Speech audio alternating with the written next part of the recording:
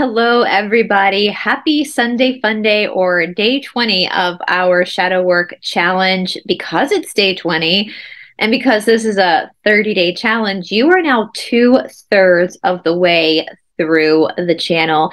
You are literally so close to the finish finish line. I'm sure you can taste it. And I am so so so so so proud of you. Yesterday, of course, we we did self-study Saturday with the practice of Reiki. And of course, with this, we are combining the practice of Reiki with the study of the chakra system you did um, sat- last Saturday and the dosha system you did the Saturday before that, the first Saturday. So I'm hoping that all of these self study Saturdays are giving you more of an idea of the subtle body and the power of the subtle body. Because once you become in touch with the subtle body, the more you're able to align yourself with your own intuition and your own gut feelings, and you start to understand and, and deconstruct that false sense of self, which is the crux of man suffering anyway.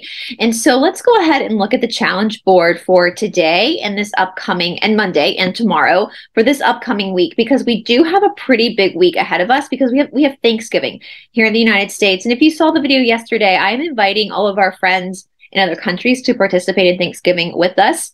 Even if you can't participate in Thanksgiving with us this Thursday, I hope that you will use this opportunity to observe how to handle a holiday when you're doing shadow work. Because shadow work, as you guys know, it's even though I said you're two thirds of the way through this, this is really like a whole life practice, right? Maybe just not as intense when you're actually in a challenge, but it's a whole life practice.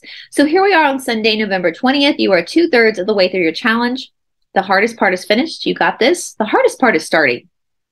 The hardest part is always the beginning. It's always starting. Again, you didn't come this far to only come this far. Please note that for the Americans, we have we are coming up on a week of Thanksgiving. There will be some changes in the regular challenges due to the holiday. This is a great practice in flexibility in life and a great practice in getting back to work once the holiday is passed. For those who are not Americans, I invite you to participate in Thanksgiving with us. If you're not an American, find a friend or two to have dinner with on Thursday night, November 24th. Either invite them over to your house for dinner or find a restaurant to go to with them. Make this Thursday a day of enjoyment and fellowship. Make your bed up. Your last meal should be between 5 and 7 p.m. No snacking after 7 p.m. This allows you your digestive system at least 12 hours of rest between dinner and breakfast. Sunday fun day. You're back to dancing with sweating to the oldies with Richard Simmons. Again, yesterday on uh, Saturday we talked a lot about Richard Simmons. Oh, oh, excuse me. That's today. That wasn't yesterday. Yesterday was Reiki. Getting my days mixed up. All right. So after you do the sweatin' to the oldies, you're going to do some Reiki meditations with Emmy from her channel. All right. So you got your food, food journal. And then for today, again, did you know that Richard Simmons was born with a foot deformity? With that being said, he went on to be one of the most influential people in the exercise industry. He had every excuse not to embark on the life he embarked on, but he continued anyway. He changed so many people's lives by helping them help themselves. What are your thoughts on that? Is there a health issue you've struggled with and perhaps used as an excuse not to exercise? Has your perception on yourself changed since starting this journey? How do you view exercise now? How do you view, your body now? Can you take a moment to thank your body for the gifts it's given you, including the hard stuff? How has the hard stuff in your body allowed you to grow?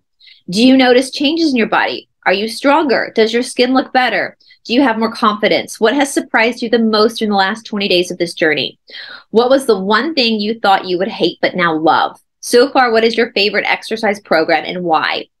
How has not eating after 7 p.m. affected you? Are you sleeping better? Are you noticing a deep, deep, a better digestive system? How do you feel in the morning when you wake up after fasting for 12 energies, uh, 12 hours more energy? And so I really want to focus this with Richard Simmons because that's one of the reasons why I picked him. I get, I mean, I have heard literally every excuse under the sun. I mean, literally every excuse under the sun. And there is literally no excuse. There is zero excuse to not be using exercise as a modality for changing your body if you're on your period or if you have a fever fever. And so i'm hoping by looking at richard simmons you're going to see that if you're using your health issues as an excuse not to exercise and you're kind of missing the point of what these health issues are they're just they're just resistance in your body for you to work through. They're just opportunities for you to heal certain about your certain something about your psyche. And so i'm hoping that throughout this this uh, challenge you've kind of noticed that that health issues are not you're not a victim to your health. Your health is something that your soul designed for you to have that resistance, to have that friction. And it's something that can be healed by you. And so I'm hoping that by understanding that Richard Simmons was born with a foot deformity and ended up becoming like a jazzercise exercise teacher, an aerobic exercise teacher, wow, that's so inspirational, right? And if he can do it, anyone can do it. If I can do it, anyone can do it, right? All right. So coming into Monday, November 21st, make your bed up. Your last meal should be between 5 and 7 p.m. No snacking after 7 p.m. This allows, again, your digestive system at least 12 hours of rest between dinner and breakfast. For two days exercise, you pick from all the exercise videos we've done up to this point. You get to pick between barre, yoga, kickboxing, and dance. Is there one that you really want, like? How about the one that is really hard for you, but you want to try again anyway? So, as I keep saying, the one that triggers you the most, the one that pisses you off the most, that's the one you should be doing. All right. Okay, you have the five minute cold shower, all meditation, food journal, and then your your journal for tomorrow. What exercise did you pick? Why? What about this particular exercise video really resonates with you? What are you learning about yourself from this particular video? List five things you like about yourself. List five things you are grateful for today. How are you processing all the heavy work from the week before? Is new stuff coming up for you? If so, what is it? Are you finding it easier to lean into uncomfortable feelings? How does pain, emotion, or physical bring us to a place of honesty and healing? How is pain necessary for us to grow? Describe in your own words the concept of descending in order to ascend. So we talk about that a lot, a lot. So are you starting to understand the idea of descending into yourself before you can ever ascend? Are you starting to have more revelations about why that is true? You can't ascend. You absolutely cannot ascend unless you descend first. Okay. Look through people in the eyes and smile. And then once again, you're turning off all your electronics one hour before bed. Instead, read a book or write more in your journal. Go to bed before 10 p.m. All right typical typical evening routines. All right, and once again, we are coming up to Thanksgiving week, and you're going to see as we get into the week the changes that I've made and tweaked to accommodate Thanksgiving. And I do hope that our friends in other countries will join us in celebrating this Thanksgiving, create that that those dinner parties with some friends and be able to fellowship and enjoy laughing and having a good and sharing a meal, breaking bread with people that you care about in your your life. I also want to ask for the Americans out there are you triggered by Thanksgiving?